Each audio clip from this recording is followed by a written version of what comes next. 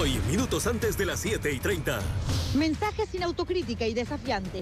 Discurso de más de hora y media del presidente Castillo. Estuvo lleno de imprecisiones y no hubo sorpresas como anunció. Hoy, todo el análisis sobre el mensaje presidencial. Y además, escándalo en el Congreso. Buscan al parlamentario Freddy Díaz, acusado de violar a una trabajadora en su propio despacho.